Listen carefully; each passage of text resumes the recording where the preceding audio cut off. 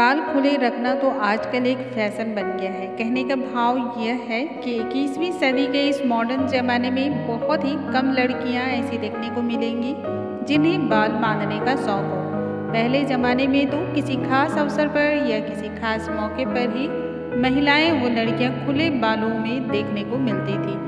लेकिन अब ऐसा बिल्कुल भी नहीं है। आजकल लड़कियाँ फ़ैशन के पीछे पागल हैं। लड़कियाँ फैशनेबल दिखने के लिए अपने बाल खुले रखती हैं। ऐसे में आप सभी को यह बात बताना चाहती हूँ कि भारतीय संस्कृति में इस बात का ज़िक्र किया गया है। कब हमें खुले बाल रखने चाहिए और कब नहीं? फ़ैशन के पीछे भागने से कई बार उसका खामी आ जाना हमें भुगतना पड़ता है। बहुत सारी लड़कियाँ, वो महिलाएँ तो ऐसे भी होते हैं जो रात में खुले बालों में सोना पसंद करती हैं, उन्हें इसकी आदत होती है। अब आप सोच रहे होंगे कि आपको ये सब बताने के पीछे हमारा मकसद क्या है?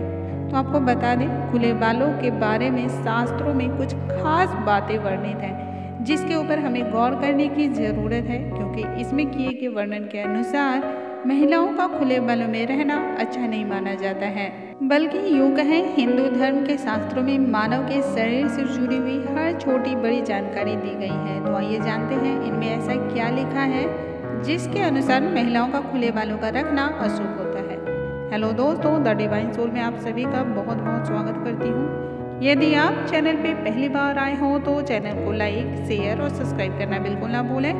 साथ ही नोटिफिकेशन बेल को ज़रूर प्रेस करें ताकि हमारे आने वाले हर लेटेस्ट वीडियो की जानकारी आप तक तत्काल पहुँच सके। दोस्तों, धार्मिक शास्त्रों के अनुसार महिलाओं को हमेशा बाल बाँध कर रखने चाहिए। कहते हैं, महिलाओं को बाल खुला रखने का मतलब होता है कि वह किसी का शोक मना रही है। इसी वजह से महिलाओं का बाल बाँध कर रखने की सलाह दी जाती है। एक पौराणिक मान्यता है, जिसके अनुसार इस कथा में ऐसा ज़िक्र भी है कि जब माता सीता का विवाह भगवान श्री राम जी के साथ हुआ था तब उनकी माता ने उनके बाल बांधते हुए कहा था, कभी बालों को खुला मत रखना, क्योंकि बंधे हुए बाल हमेशा रिश्तों को बाँध कर रखते हैं। शास्त्रों के अनुसार जो महिलाएँ बालों को खुला रखती हैं तो नकारात्मक ऊर्जा आती है और उनके घर में क्लेश उत्पन्न होते हैं। इसके अलावा जो महिलाएँ रात में बाल को खोलकर सोती हैं तो उनके ऊपर नकारात्मक शक्तियों का प्रभाव अधिक होता है। दोस्तों, बालों के द्वारा कई तरह की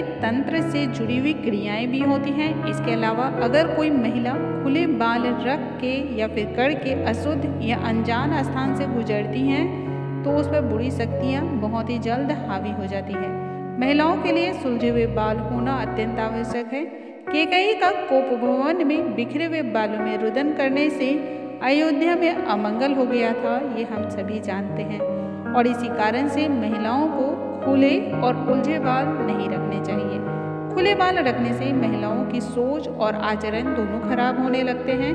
वहीं ऐसा भी कहा जाता है कि जो पुरुष बड़े बड़े खुले और लहराते हुए बाल रखते हैं, उनकी मानसिक स्थिति भी बिगड़ने लगती है। ये तो हो गए, खुले बाल हमें क्यों नहीं रखना चाहिए? लेकिन कब हम खुले बाल रख सकते हैं? ये उससे भी ज़्यादा अहम सवाल होता है। तो इसके बारे में भी हमें जानना उतना ही आवश्यक है। शास्त्रों के अनुसार माना जाता है, महिलाओं को केवल बाल तभी ही खुले रखने चाहिए जब वह एकांत में अपने पति के साथ हो। इसके अलावा उन्हें हमेशा ही अपने बालों को बाँध कर रखने चाहिए। दोस्तों, मुझे उम्मीद है आज की ये जानकारी आप सभी को बहुत ही पसंद आई होंगी और आप सभी के बहुत ही काम आने वाली है। ऐसी और भी ढेरों जानकारी के लिए आप लगातार हमारे चैनल पर बने रहें। अगले वीडियो में एक नई जानकारी और अद्भुत जानकारी के साथ फिर से मिलोगे। तब तक के लिए प्यार भरा नमस्कार।